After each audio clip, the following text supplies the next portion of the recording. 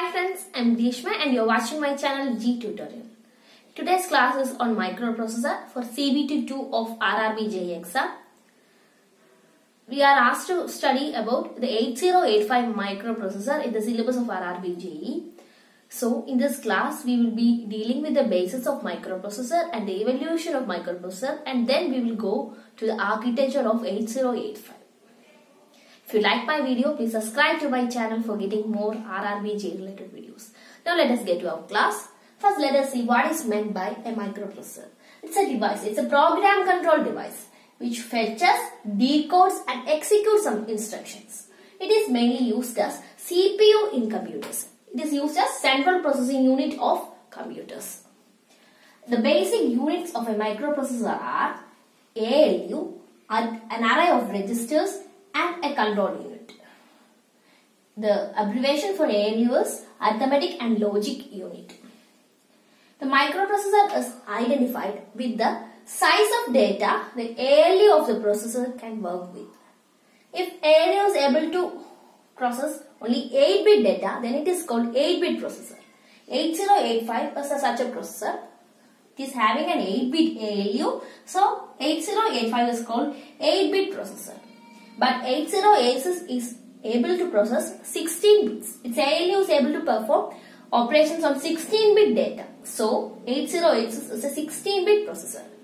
And we are asked to study only about 8085 for the uh, in the syllabus of RRBJE. So, we will be dealing only with 8085. Now, let us see about the evolution of microprocessors. The first microprocessor was released by Intel Corporation in 1971. It was Intel 4004. It was a 4-bit microprocessor and it used PMOS technology. The instruction size set has a size of 45 instructions. Now let us see about the first generation microprocessor. First generation microprocessors mainly used PMOS technology which provided low cost, slow speed and low output current. But the disadvantage was it was not compatible with TTL, transistor transistor logic levels. We will see about this in digital circuits.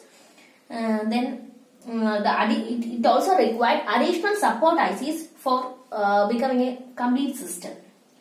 And another disadvantage was it, it had only 16 pins. Some of the uh, first generation microprocessors are Intel 4004, then Intel 4040, Fairchild PPS25, Rockwell PPP4, then National IMP4, etc. were the 4-bit processors of first generation. And Intel 8008, National IMP8, Rockwell PPP8, AMI 7200 were the 8-bit processors of the first, first generation. And National PACE 16 was a 16-bit processor belonging to first generation. Uh, the main applications of first generation microprocessors were calculators, gaming machines, home appliances and accounting system. Now let us see about the second generation microprocessors. Now let us see about the second generation processors. It was first uh, released in 1973. It used NMOS technology which provided faster speed than PMOS technology.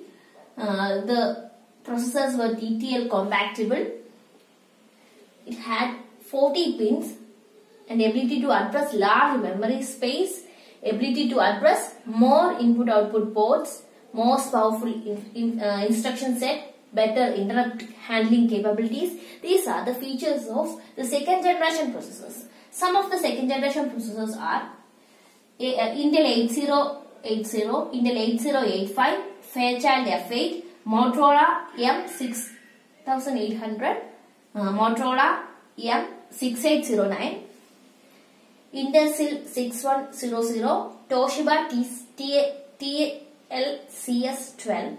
These two are 12-bit processors. Those I have mentioned before were 8-bit and General Instru Instrument CP uh, 1600 and Data Gen General MUN 601 were 16-bit processors. Uh, the applications of second generation processors involve complex industrial controllers, communication preprocessors, instrumentation, military applications and data acquisition system.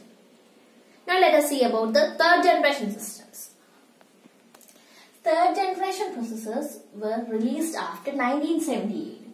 Um, most of the processors of third generation are 16-bit processors and they used HMOS technology, high density MOS technology. Uh, some of the uh, third generation processors are Intel 8086, 8088, 80186, Intel 80286, Motorola 68000, Motorola 68010, Texas Instruments TMS 99000. And uh, some of the features provided by third generation processors are it provided 40 or 48 or 64 pin ICs. Uh, high speed and very strong processing capability, easier to program. Size of the internal registers are 8, 16 or 32 bits.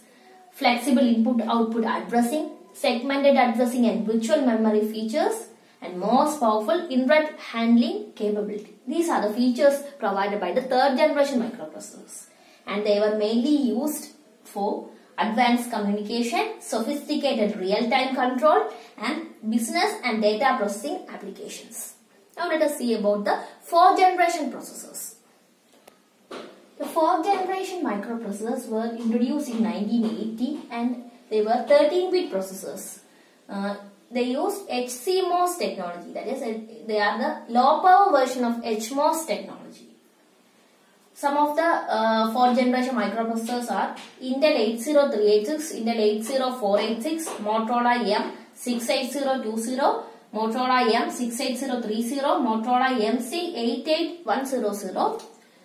And the features of the fourth generation microprocessor they provided a physical memory space of 16 MB and virtual memory space of 1 terabyte. Floating point hardware was incorporated in fourth generation microprocessors and they supported increased number of addressing modes. The applications of fourth generation microprocessors are office information equipment and multi-user multifunctional environment. Now let us see about the architecture of a microprocessor. We have now uh, seen the four generations of microprocessors and now let us see about the architecture of a microprocessor. This is the block diagram of the basic components of a microprocessor. Uh, a microprocessor mainly consists of arithmetic and logic unit, register array or internal memory, flag register, instruction and decoding unit, program counter or instruction pointer and timing and control unit.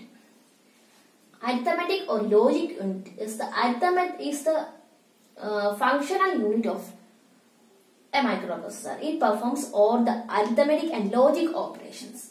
And the result of this ALU uh, uh, sets the flags of, uh, sets the bits of this flag register. This flag register contains several bits which are known as status flags. Suppose uh, the result of the ALU is negative value. Then it will set the sign flag. One of the bit of this flag register is sign bit. It sets the sign bit to 1. If the result is negative, the sign bit is set as 1 and if the result is positive, the sign bit is set as 0. This is what is meant by flag register. The, uh, the st status of the output of ALU is uh, fed in the flag register.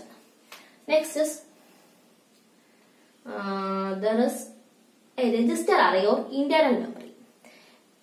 Internal to this microprocessor and it stores uh, the input data to ALU and also the output data from ALU and also uh, any other binary information is stored in this register array. It is internal so it is known as internal memory.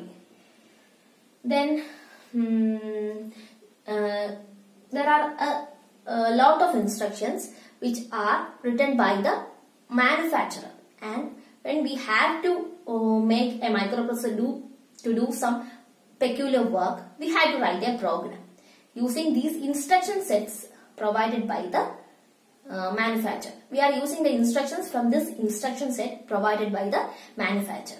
And this program is written in some external memory. Program counter uh, always uh, provides the address of the instruction that is to be executed at a particular time and this peculiar address is address of the that instruction code present in that external memory.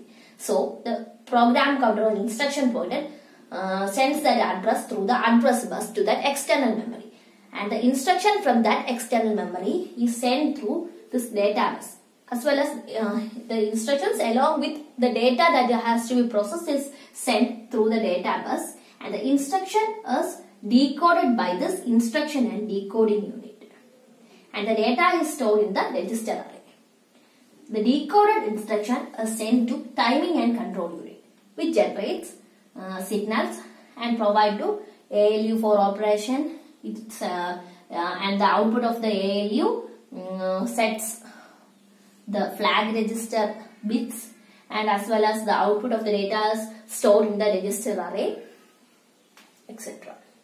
Again uh, for the next instruction program counter points to that instructions and uh, the uh, address bus carries the address of that to the external memory and the operation is repeated again and again.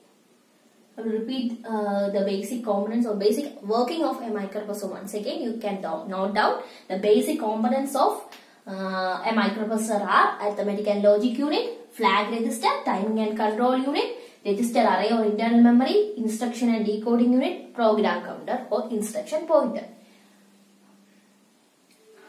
Manufacturer provides us a set of instruction which is known as instruction set. Using that instruction set, we are writing program for doing any particular operation. And at each time, the micro, the program counter points to a particular address. And this address contains the uh, operation that has to be performed. And through the address bus, this address is sent to the external memory where the program is written. And that particular address uh, where the program counter points, uh, there will be an instruction in that address. And that instruction is uh, sent along with the data that has to be processed through that instruction through the data bus. And the, uh, the instruction is decoded by the uh, instruction and decoding unit and the data is stored in the internal memory or register array. This instruction and decoding unit taking that instruction, decode, decoded instruction is fed to the timing and control unit. It is a timing and control unit which generates the control signals and which asks the ALU to perform a particular operation and the output of ALU is, uh, sets a flag register and the output of the ALU uh, stored in uh, register array etc. Everything is controlled by the timing and control unit. Now let us see some of the important terms that we are using in uh, a microprocessor in terms uh, that we may use while studying about the architecture of microprocessor uh, or while doing programs etc. Now we can see that. First term is bus. Bus as I said is a group of conducting lines which mainly carries data, address and control signals. Data bus is a group of conducting lines which carries data that is used by uh, ALU for performing operations. Next is address bus. Address bus is a group of conducting lines that carries address. Address of the instructions that is to be executed. Next is control bus. These are group of conducting lines which carries control signals. So I think you are clear with the term bus. Next is clock. Clock is a square wave which is used to synchronize various devices in microprocessor and in the system. These are square waves. Clocks are square waves. This is a square wave and it is used to synchronize the various devices in a microprocessor. The devices in uh, microprocessor may be positive edge triggered, negative edge triggered or level triggered. Positive edge means it is the uh, raising edge of a clock or clock signal. This is the negative edge. This is the level edge. So the uh, devices may be positive edge triggered, negative edge triggered or level edge triggered. We will see about it later. Uh, just you understand this concept. Uh, every microprocessor requires a clock for its operation. The time taken to execute an instruction are measured in terms of the time period of this clock. To, to uh, execute any instruction, The time taken for executing that instruction is the, is measured in terms of this uh, the time period of this clock. Okay, next next topic. Next is multiplexing. Multiplexing is transferring different informations at different well-defined times through the same lanes. That is, we are using the same bus for for carrying same bus or conducting lines for carrying different day, different uh, signals at different times. Uh, for example, uh, in 8085 microprocessor, the lower 8 address lines are multiplexed with data lines. That is, they are used for carrying both address and data. Uh, and uh, when the bus is multiplexed, this bus is called multiplexed bus. These are mainly done because uh, of the limitations of the pins. When pins are limited, microprocessor use this multiplexing technique. Most microprocessor cannot provide simultaneous similar li lines. That is, they are not able to provide uh, separate lines for data or address. So, they are using the concept of multiplexing. And in order to demultiplex, the processor provide a signal ALE, address latch enable signal. When the address latch, when ALE is high, it provide, uh, it decodes the address and when ALE is low, it decodes uh, the data. We will see about it later in detail. This is uh, what is the prerequisite for studying the Intel 8085 microprocessor.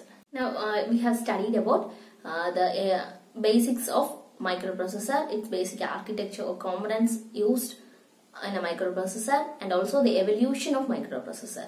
In the next class we will be studying about Intel 8085 which is a second generation microprocessor. If you are having any doubts please comment below. Thank you.